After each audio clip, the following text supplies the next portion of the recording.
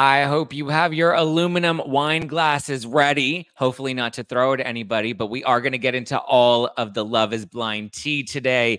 Get ready for it. Let's dive in. You're listening to No Filter with Zack Peter, your go to source for all the latest pop culture and reality TV tea, serve fresh all week long. Now, let's dive in.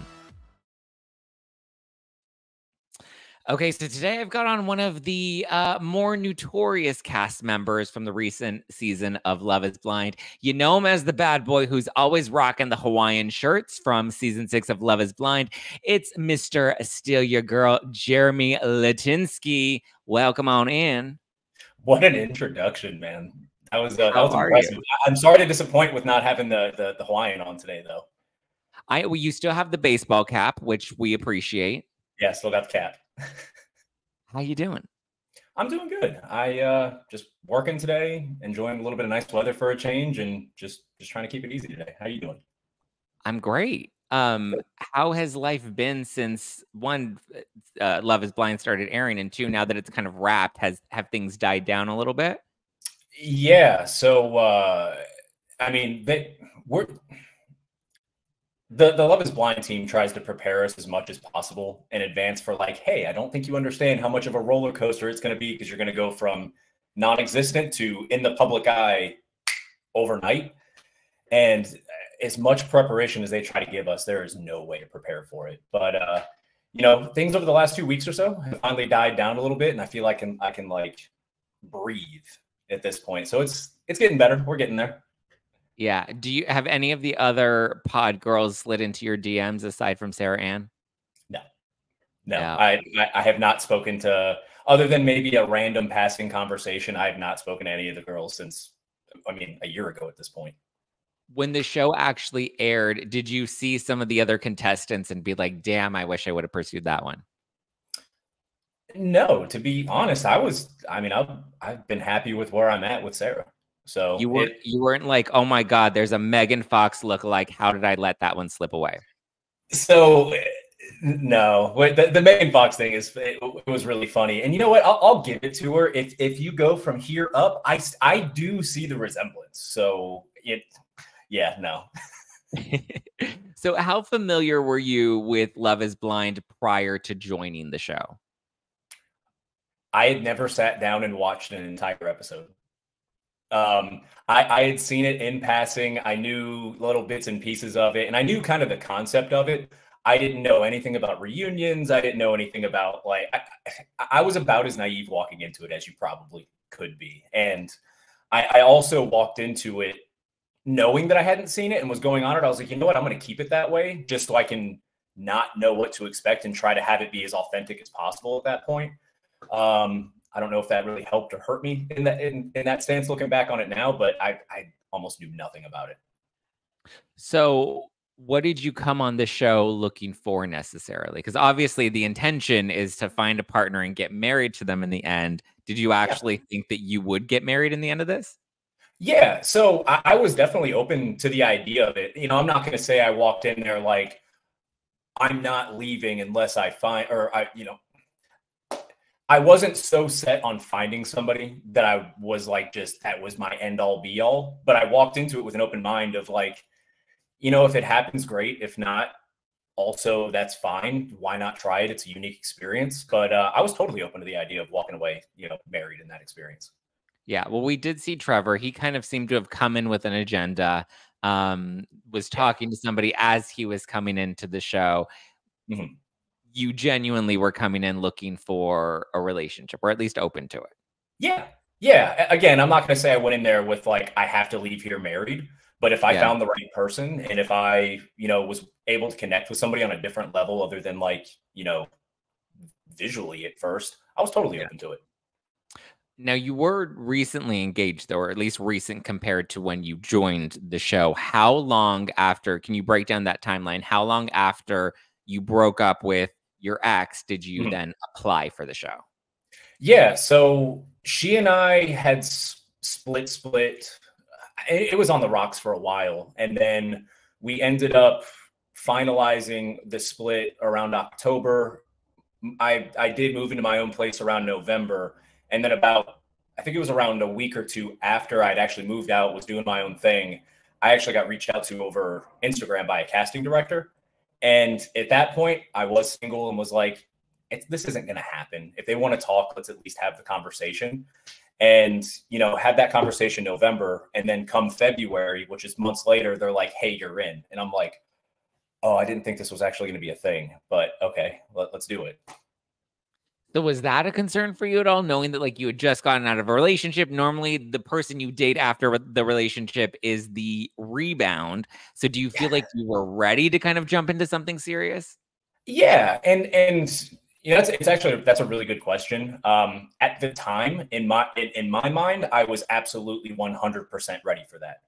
Now that there's been time that's passed, and I've had way more time to think about that, you know, in in the real world you know, I I can't say I wasn't ready to move on, but I think I probably should have taken more time to myself before getting into that. And again, when when I was reached out to, I thought to myself like, "Hey, why not go through with the application process? There's a 0% chance of this happening." And then once it all came to fruition, I was like, oh, "Okay, this is this is about to be an interesting experience." How long did you guys date before you broke things off? Uh, I think a little over two years. Oh wow. Yeah. So it, it, wasn't short. You know, there was definitely some ups and downs throughout that that whole experience there, but uh, yeah, it wasn't it wasn't like a short short term relationship. So then coming into the pods, obviously we see everyone's journey getting to know each other. And then in the end, you end up picking Laura. Why mm-hmm. did you pick Laura? Like, what was it about Laura that made you choose her over Sarah Ann? Okay, so there's two things. Um, one, talk talking with Laura and Sarah. You know, I had good connections with both of them. Unfortunately, with Sarah, a lot of that wasn't shown. Um, it showed a little bit more of Laura and I, and there really wasn't even that much of that shown either, to be honest. But um, Sarah was someone that I knew that if I met in the real world, eh, just by the conversations we were having and like the banter that we had, she was always like kind of uh, we'll call it my type. Even though I couldn't see her, that that type of energy was a little bit more my type. Laura, not that she had like you know any worse energy or anything like that. She was just a little more. You know, we're talking way more about finances. We're talking about you know houses. We're talking about things like that versus just all the fun stuff. Yeah. So I, I went in there like, okay, I've got to make a decision. I'm going to go with the decision that might be a little bit more uncomfortable for me, but I'm also here trying to grow and do something different that I haven't done before. So going for Laura was stepping out of your comfort zone, trying something yes. new. Yeah.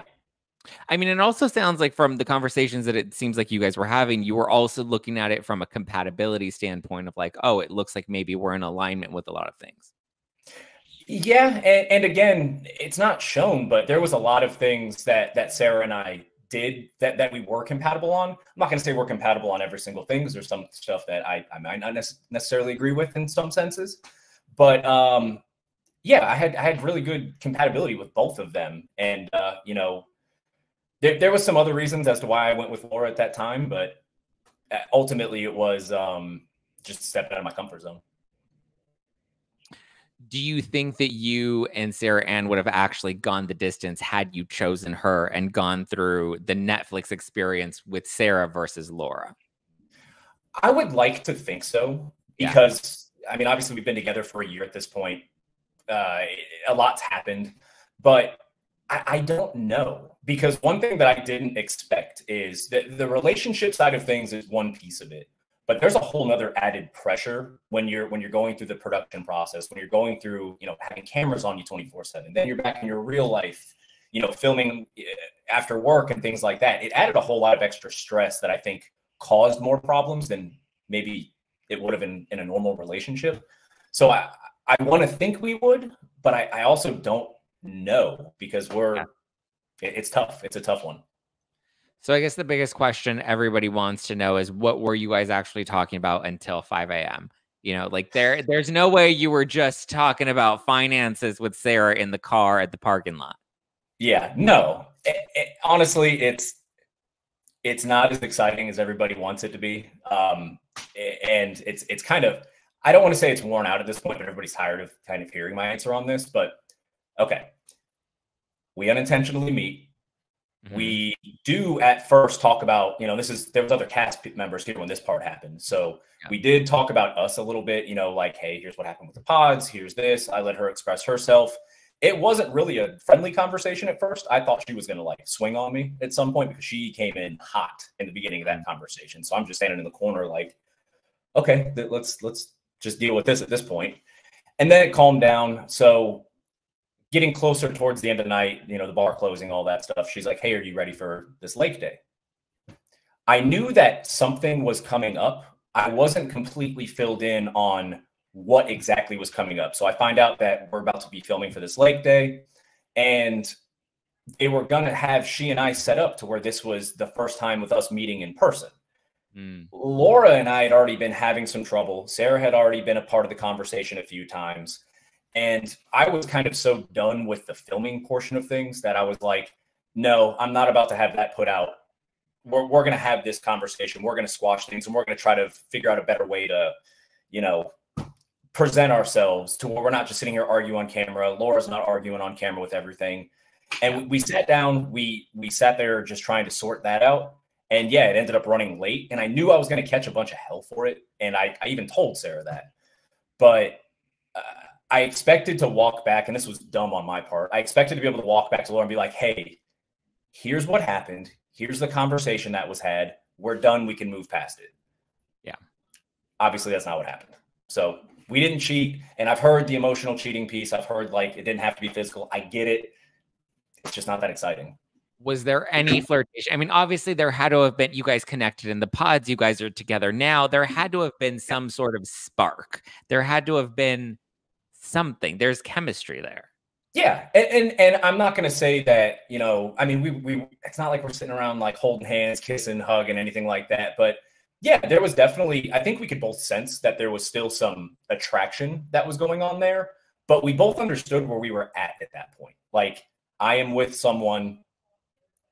You know, you and I broke up at one point, but first and foremost, we're not about to put this out all out on air and you know have it turn into a complete dumpster fire. Little did we know, it's exactly what would happen. would what would you have done if she invited you in that night? I still wouldn't have done it. The only reason the only reason I went back to her place because I was only I was there for a few minutes. I've heard I was there all night. That's not what happened.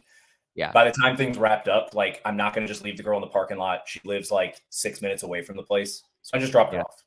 It, that's that's all that happened. Have you ever cheated in a relationship? I'm not gonna say I've always been perfect. Yeah. Yeah. I'm, I'm not. I, I won't sit there and lie about that. So, are we getting a an evolved Jeramey? Have we we matured a little bit? I would like to say yes. I mean, in the last year, again, there's been a lot that's happened. There's a lot of time to process some of the things that have gone on, able to think yeah. about things. Um, I mean, I've actively been going to therapy myself. I've been really stepping out of my comfort zone in a lot of things. And uh, I know it might not seem like I, I, care all that much just based off of some of my responses, maybe to things that have come out. But I, I just try to sit back and not let too many things bother me because I know I'm working on myself. I know I'm doing my own thing, and that, that's all I can do at this point. Now, we did see um, on the lake, Sarah Ann told AD that you said to her that you were planning to break things off with Laura that night. Mm-hmm. Do you want to yeah. clarify what you said? Yeah, that didn't happen that night. So that was I, because when I when I saw that on like I'm watching it, you know, as it's coming out, just like everybody else is. And when yeah. I saw that clip, I looked over at Sarah. I'm like, "What did you? Why did you say that?" So where the where that got confused at is Laura and I, you know, we get into that infamous argument after I stayed out as late as I did, and so we hadn't really been talking all that much. Or the the production team asked us, "Hey," or tells us basically, "Hey, you need to go to a dinner. We're going to film this." And we try to work some things out there, and that's also where I was given the idea to like send her flowers and stuff. I know I got a ton of heat over that. You know, oh, you just went through a, a breakup and an engagement. Why are you sending flowers? That doesn't make sense. That's yeah. where that came from. And then uh, things continued to deteriorate after that dinner to a point where like the lake day's coming up Laura and I are not speaking still at this point. We're, we're actually broken up in real life at this point. Yeah. Sarah is not talking to any of the women. I'm not really talking to a lot of the guys from the show because they're out filming, they're out doing their own stuff. And I I'm under an NDA at this point, so I can't just go out and talk to like friends and family about everything that's going on. So then that leads me and Sarah to kind of start leaning on each other to start talking about things. Laura and I are broken up in real life. Sarah and I start kind like we, we're starting to talk at this point. Then the lake day comes up, and in between Laura and I breaking up and going to the lake, that's where Sarah and I had started talking about a relationship. Okay. So, but the the scene with you and Laura it, in the the morning after scene, we see that you're saying that there was a dinner that was that happened after that before the Yes. lake. Yep. Okay, so Yeah, how it, long it didn't ago? make it into the edit, but it, it it happened. Okay, so because she also, I think, at the lake says that she hasn't heard from you in three days, so it makes it seem like it was only a three day period from when she saw you the night after you were with Sarah and the lake. No, th- so that three day comment comes from when we had actually filmed The dinner. that that that dinner scene. Got it. That makes more sense. Yeah. So then, how long was it actually? Like, how long was the the distance from when you? between uh, Sarah and the lake day? Yeah. Uh, I I don't know. I'm gonna say it's it was probably about a week, probably about a week, Okay. week and a half. Um, I, I don't that- know the exact timeline on that. That's the week that you and Sarah kind of ended up really, you know, getting Yeah. to know each other a lot better. Yeah. So going into the lake at that point, where you're like, okay, my relationship with with Laura's done at this point. Like, there's no coming back from it. No, we we we were broken up in real life at that point. Like that, it was that was done and over with, and we we basically had to film it, which you know that it was pretty tense at that point. Um, so it it, it, was an uncomfortable conversation, but yeah, things things were already well and done at that point. And so Laura claims that you were a pod robot, and you know she says that she wanted an apology from you at the reunion. Um, do you have anything you want to say to her now? Now that the dust has kind of settled, now that you know it's been a, a- a few weeks since the reunion, um, do you regret any of it? So the I'll start with the pod robot like phrase. I I don't agree with that because the things that I was getting heat from her about, like yeah, everybody jokes about the Hawaiian shirts. And and that even for me, that was a little bit overblown. Like I told you in the pods, hey, I wear Hawaiian shirts, I'm super clean, I'm, you know, XYZ things. And like as soon as I get out of the pods, I'm getting hate for the Hawaiian shirt from her. You know, she comes to my house, takes a tour of the place, and the and like I, I'm as clean as I describe myself being, and then I'm being told, "Hey, this gives off serial killer vibes." So it's like, I, I told you everything that I was that I was, and I was still getting a ton of like hate from her on that. And I'm like, all right, Yeah. whatever. But as far as as far as the you know the the apology goes, I have a hard time believing that she was invested as she claims to be. Mm. However, if she really was that invested, and if if I did hurt her hmm. feelings through all of this experience, I do apologize for that. And you know, if she ever sees it or watches it, Laura, I apologize to you about that. I've I've tried apologizing every different which way, and it always seems to be the wrong way, apparently. But I, I do actually apologize for that. Do I think things could have been different? Sure. Looking back on it, you know, the timeline of things could have definitely been different. But in that in that specific scenario, it's it's a weird isolated bubble that you're in Yeah. and you're just trying to figure it out as you're going so i don't know how different things could have been you know it's, it's kind of hypothetical at that point Well, it was also interesting because we saw when you guys met the parents, even her mom was kind of like, you guys always take jabs at each other. You know, like the mom seemed to have a little bit of concern about your banter, as maybe it was a little bit more than just playful. yeah and i mean i definitely had feelings throughout our relationship that it, things just weren't completely right um i mean we would get into these weird little tiffs just over like communication styles on things. I'm definitely way more like laid back try to be you know pretty easygoing about a lot of things. And i don't think she and i just we just didn't mesh on that which is fine you know whatever. But uh i mean there was even times pretty early on to where you know we're supposed to be staying in this townhouse together and we're supposed to be you know working on our routines together. And there'd be nights where she would like go back to her own apartment claiming that she has you know she wants to work from there that night or the next morning or whatever else and things like that really did bug me because in my mind i was invested in that experience and i and we only have like two or three weeks to figure out if we're going to get married and every day counts at that point Yeah. so we just, we just weren't seeing eye to eye on a lot of things So explain the condo situation. So did you guys live in the same city? Because it sounds like you guys were all pretty close. If you're going out to a bar and Sarah Ann lives six minutes away, but there's mm. a condo that you and Laura are staying at, but you're each able to go back to your apartments. Are you guys yeah. all in the same area? Yeah, so we're all from the surrounding Charlotte area. You, I think the rule was you had to live within like a 30 minute radius, basically. Uh, so you didn't have to be from Charlotte proper, but you had to be from around the area. Um, so Laura lived um, just out, uh, she lived somewhere down towards South End, which is a little bit south of Uptown. We it's not downtown, we call it Uptown here. Um, and I lived to the west of Charlotte. Sarah Ann lived like just outside of Uptown, and the townhouse we ended up staying at was like directly south of Charlotte. Um, so Laura was able to grab some of her stuff. I grabbed my stuff. We moved down basically south of Charlotte, and I think that was like maybe ten or fifteen minutes directly outside the city. So it was all pretty close. Yeah. Well, that's interesting. That's also kind of messy that they want all of you guys in the same sort of area because then you're bound to run into each other and then you're all bound to, you know, not be within proximity so that other things can come up. Yeah. Um, do you feel like in watching back your scenes this morning, because I was looking back at your scenes with Laura, um, and watching them back, I kind of feel like you were trying to communicate with her. I know you were painted as the villain, but I mm-hmm. didn't in rewatching the show. I don't know if I left with that same impression because I, I mean, obviously you it the impression is that you mess with Laura's feelings and then ended mm-hmm. up you know cheating on her with another girl in the pods and then ended up leaving her for Sarah. Yeah. But I feel like you things weren't working out with you and Laura. Mm-hmm. Communication didn't seem to be very strong. It felt like Laura was very I don't want to say controlling, but she was very specific about how she liked things done. She was very mm-hmm. specific about her communication, which was very direct and sometimes a bit abrasive. And I feel like your communication was a little more passive. And, you know, it just seemed like you were trying to maybe, she didn't believe that nothing happened, which I think a lot of people still have a lot of questions about whether or not something actually happened. But you and Sarah have been very clear that nothing happened.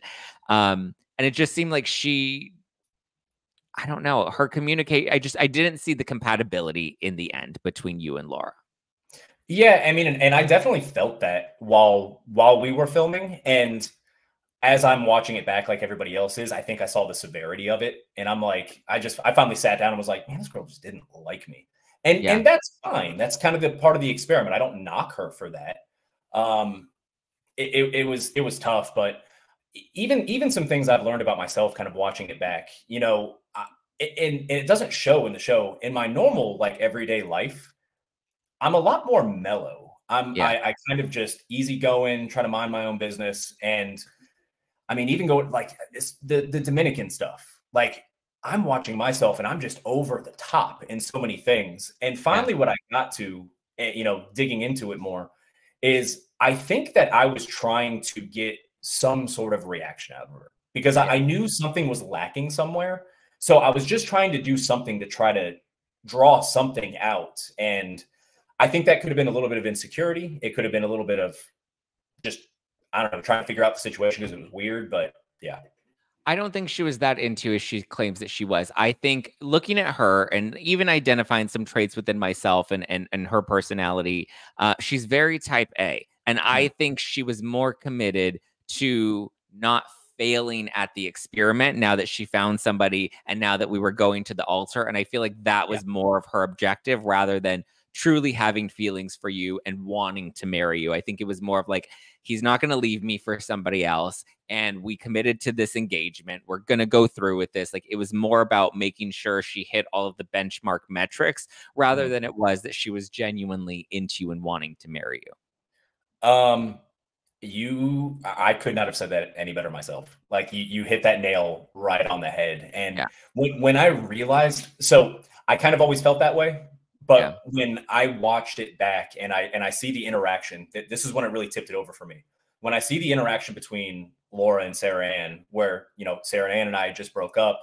and you know laura laura's just saying like oh you're a bad bitch you're this and that i'm watching like her facial expressions the whole time and i'm like it looks like she just wanted to win. Like yeah. even from that point on, and then it's like we hit the real world and it just accelerated from there. Yeah. I, I don't have any ill will towards her. I don't have any really any bad feelings towards her. It was just a bad experience. Um, I, I think on both of our parts. Yeah. Mallory in the live chat wants to know if you did, in fact, go and kick rocks with open toed shoes. I did. I did not. I did not kick rocks with open toed shoes. no, you kicked the door open to Sarah Ann. Yeah. Yeah. That's, that's one way to put it. uh, Donna says, Why did you actively do things to hurt Laura? Do you feel like you were vindictively trying to hurt her? So the I think the only thing that I was a little vindictive with at, at a certain point was the the Hawaiian shirts. I got to a point where I was like, I'm so tired of hearing about it that I'm just going to start wearing them. Yeah. Oh, Michelle says the state of your house does not scream mellow. Oh, does scream? Oh, you know, does not scream mellow. I don't know. I feel like your background looks pretty mellow to me. Yeah, just a tree and, a, in my chair and my my workstation. Yeah, Nessa says the white walls. Um, They're actually cream colored. They're not white. Yeah, they yeah. Uh Evie says Laura and him seemed so passive aggressive. I felt like like that there was this underlying tension between you guys. Like I just I don't know if I believe like again in watching it back this morning, I don't know if I believe she really like liked you as a person as much as, you know, she was just committed to seeing this through. And I agree.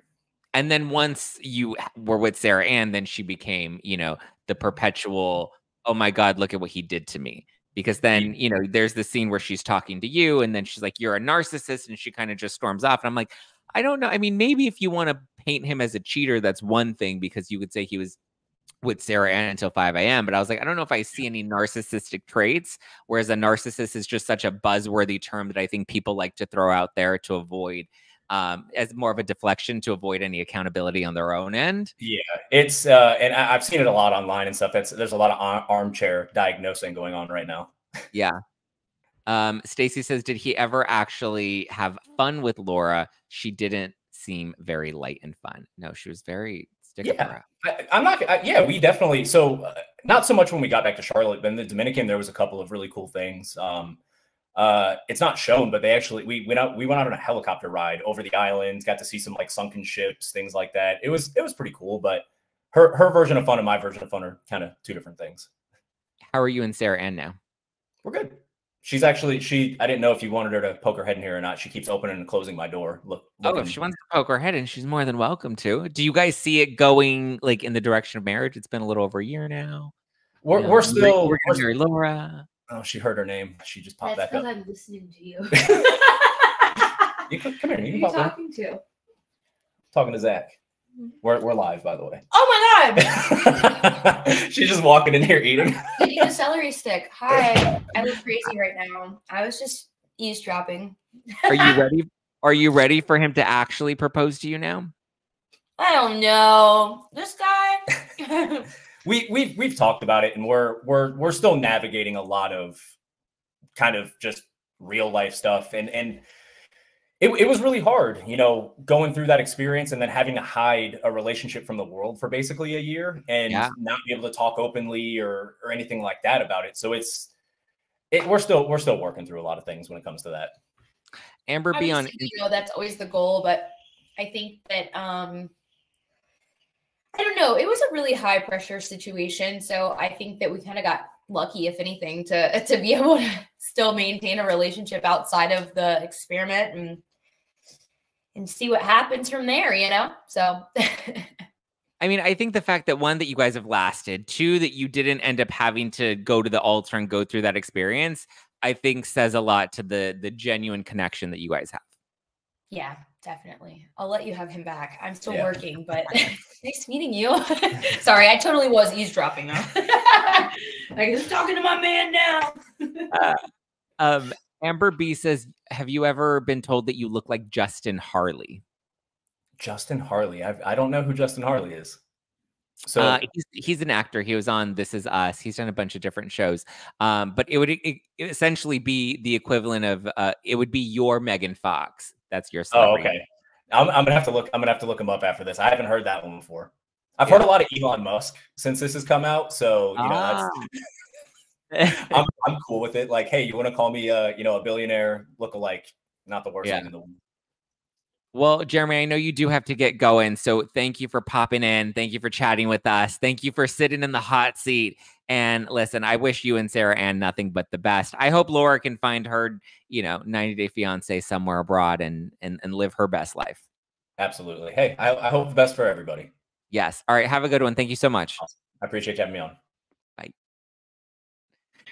All right, guys, what do we think? Are we a fan of Jeramey? I actually like Jeramey. Well, one, I like red flags and I like problematic guys, but like, you know, I actually don't think he's as bad. If you rewatch this season of Netflix, of, of Netflix's Love is Blind, I actually think maybe, um, maybe there was a little bit of um I don't know, some villain editing. I would I, I would actually love to see on on House of Villains. Imagine if him and Sarah Ann went on House of Villains together.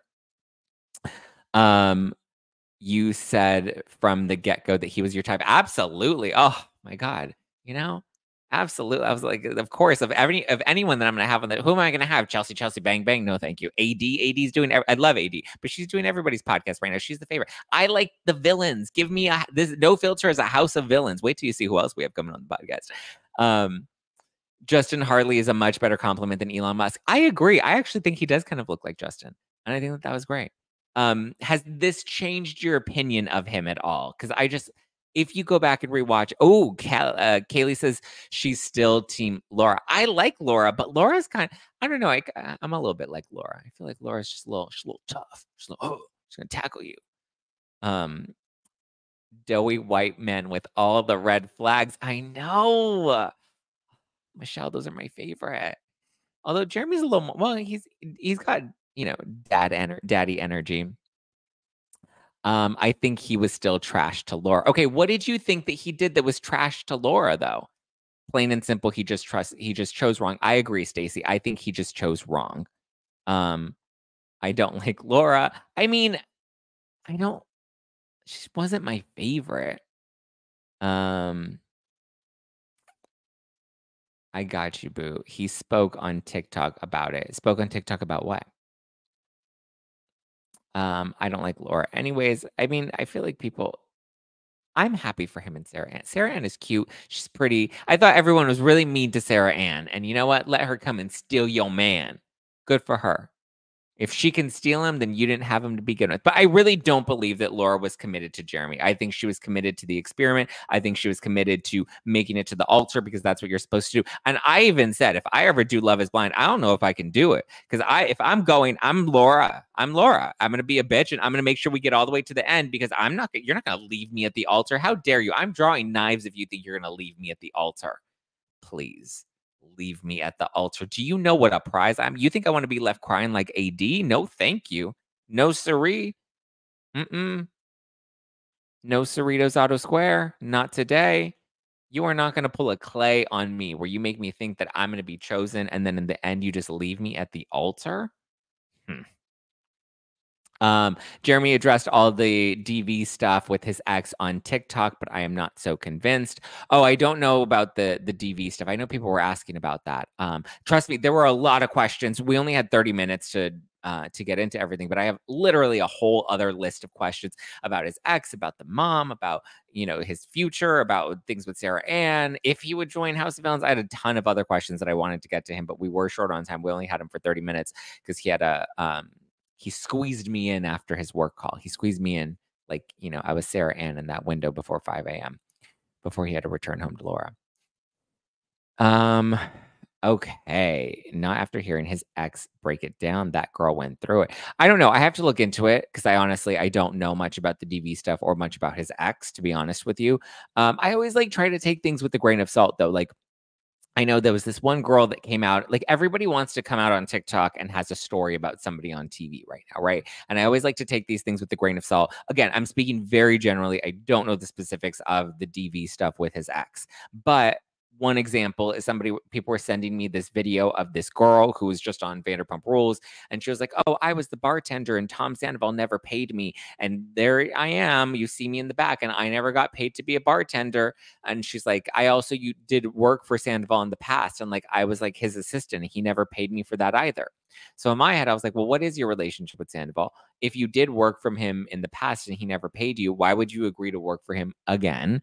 Why would you agree to do this on camera? Because it kind of seems like there was camera exposure that you were looking to gain or that was offered in some form of compensation for for doing that. Um also because a lot of people like to come out and be like i never got paid for this or i never got paid for that and i'm just like show me the invoices. Because here's the thing people love to come out and say i never got paid for something but it's like where's the invoice? Did you follow up did you send an email to somebody? Was it a cpa was it a bookkeeper? Was it to them directly? Was it a text message? Was it an email? Like where's the paper trail that proves you were entitled to be paid to something for something and then the invoice where you show here because like when i have to when i um have a brand deal or a contract and stuff there everything there's always contracts there's always um invoices that need to be sent there's always a tracking of um, uh, either a check or a wire transfer like all of that stuff you have to provide an invoice you have to provide a w uh, w9 so like uh, I, I have questions. You know, if somebody pays you, you have to give them a W 9 so that at the end of the year, when you do your taxes, that gets reported.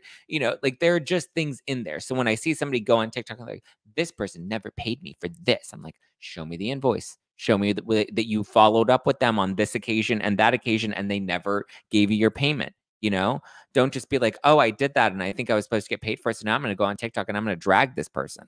You know, I always, anytime anybody has a phone and they want to get on TikTok and tell their story about something and it's always trashing somebody else or calling somebody else out, makes me question their motives. Um, don't come out with it unless you've got receipts, proof, timeline, screenshots. Exactly, Michelle. Exactly. Um, Mimir says, "I people make mistakes, learn and grow. Hopefully, yeah, I agree." Mimir says, "Also, please hit the like button, guys. If you're watching this live on YouTube, hit that like button. If you're watching this on Apple Podcasts, then be sure to leave me a nice Apple Podcast review. And if you're watching this on Spotify, five stars, five stars, one, two, three, four, five. Let's get it, get it, get it. Oh, um, but yeah, I was very happy to, to have Jeramey on the show. He is my favorite. He is just like he looks so delicious, so delicious but I ain't promiscuous. And if you were fictitious, all that shit is wait. And if you were suspicious, all that shit is fictitious. I blow kisses. Mm-hmm.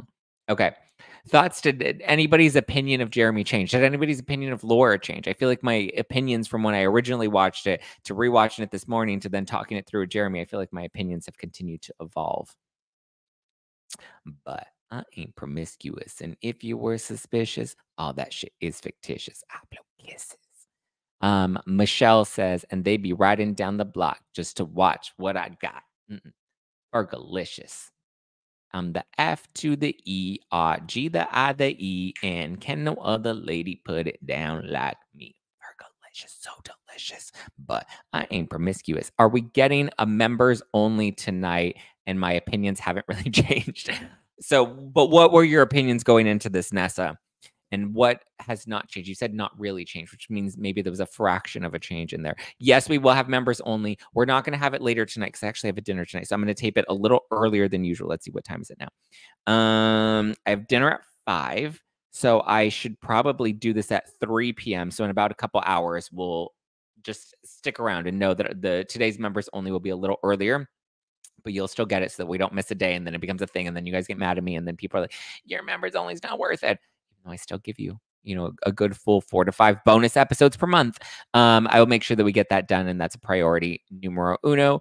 And um yeah i think i'm going to tell you guys about there's a vanderpump rules reality star. Sorry yeah. There's a reality star on vanderpump rules and their publicist wanted to come for me in the dms and we had a very interesting exchange and i'm going to let you well actually not a Vanderpump Rules star anymore because she didn't come back this season. So there you go. Stay tuned. I'll give you the tea. I'll read you the DMs. We'll get into all of it. Um, okay, let's see.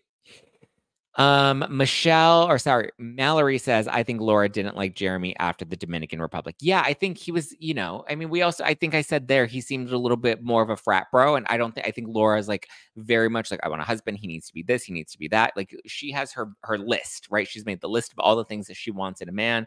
And I don't think Jeramey checked all of those boxes for her. And she was just like, I need to stay committed to this so that I'm not, you know, single at the end of it. Nessa says, I like Sarah Ann more. I think Jeramey's okay. Didn't handle the situation perfectly, but whoever does, that's a good point. Um, I agree. She was just sticking it out for the show. That's right. Yes, she was. Nessa says, I never liked Laura. Oh, Callie says, I thought the same. He turned her off in the Dominican. Yeah, because remember, he was just like, er, he was in the pool and he was drinking. She's like, I'm ready for bed. And he's like, No, it's we're on vacation. Like, let's keep drinking. Let's have fun. Let's have a party. So yeah. Um, Rocky, Rocky, bang, bang, Rocky, Rocky, Rocky, bang, bang. Um, Nessa says, Who dare says membership isn't worth it? I don't know. Stacy says he shouldn't have talked with her all night, but he's not that awful. Plus, Laura is a tough partner. I agree. Um, he should not have talked with her all night. And listen, I mean, come on, there there had to have been like a little bit of a flirtation. There had to have just there was chemistry there, you know. Uh, there was chemistry there, and he kind of did admit that he's cheated before. I think it was a little more nefarious than he, they're trying to make it out to be. They've probably committed to saying, listen, we're just going to stick to our script. We're not going to be like Raquel and go off script. We're going to stick to the script and we're going to see it through, you know? And I think they did. I think they made it. I don't know if I think they made out necessarily, but I think there may have actually been a kiss. What is it you all dislike about Laura so much? Just curious. Good point, Ellie. Um, or L, sorry. Um, I don't think I just I don't think that her and Jeramey were compatible. I don't think that Jeramey and Laura would have made it in the end. Um, I just think they're very different people and they just are not compatible. I think on paper it may have sounded like that but like personality wise communication style wise i just don't think that they were going to go the distance. So for me what i dislike is that she really was trying to sell the audience on like i was committed i was going to marry him i loved him when i don't think she really loved him. So for me i'm just like no like you're you're ignoring all the flags that this was not going to work out but listen, I've always said I think I would probably be like Sarah Ann. I would be committed to it. I would be like, red flag, nope, we're gonna bleach it, throw it back in the wash, bleach it, bleach it, bleach it until it is white. Right. And unfortunately, you're never gonna get a red flag and bleach it white. It's never gonna get white. You're it's either gonna deteriorate or it's gonna be real pink, but it ain't gonna be white. Period. End of story. Kelly says, My opinions haven't changed. Jeramey's icky. Sarah Ann was definitely in the wrong. I still like Laura. She was too good for Jeramey. I don't think she was too good. Well, it depends on how you look at it, right? She could, you can possibly say that. Um, I just think different people, different personalities, different wants in life, right? I don't think Sarah Ann was wrong. Well, I mean, she did kind of hang around with the guy that she knew was in a relationship. So I don't love that. So I can kind of see that. But like, I don't think she was wrong. I mean, I know AD really held her to the fire with like the DM. And she's like, You were DMing a guy that didn't choose you. Make it make sense. So I get that. But I also think Sarah's intentions like were pure. Like, hey, if it doesn't work out, I'm still an option. Does that feel like a pick me girl? I don't know. I mean, they had a connection. It's weird because you're not in real life circumstances. You're in this pressure cooker bubble. You're not thinking clearly. You can't really talk to other people about this. So yeah, Laura dissed Jeramey quite a bit in front of her family. The mom picked up on it. Even her, her sister was kind of just like, who cares if he wears a Hawaiian shirt? Like, he likes that. That makes him happy. And if that makes him happy, if that brings him joy, Marie Kondo says, keep what brings you joy. So let him wear his Hawaiian shirts. It brings him joy. And if there's something that your partner loves that brings them joy, then that's a good thing, right? And you shouldn't run from that. You should be like, oh, I may not love it, but at the same time, it's also just like, well, you know, you just got to embrace it because it brings them joy and their joy should make you happy. Hmm. That kind of disrespect was pretty clear. She didn't actually like him. Yeah.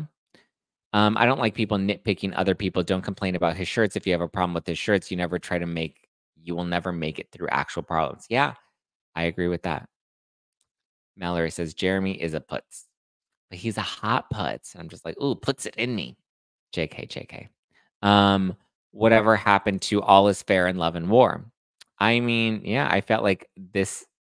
I if I felt like this was my man, I would rock. I would walk right through you. I mean, I guess, and she she won in the end. Sarah Ann won.